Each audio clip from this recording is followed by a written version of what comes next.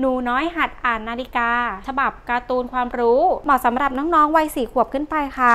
เล่มนี้นะคะ น้องๆจะได้เรียนรู้เกี่ยวกับเรื่องเวลาค่ะ ผ่านตัวละครน่ารักน่ารักนะคะ อย่างเจ้าตะวัน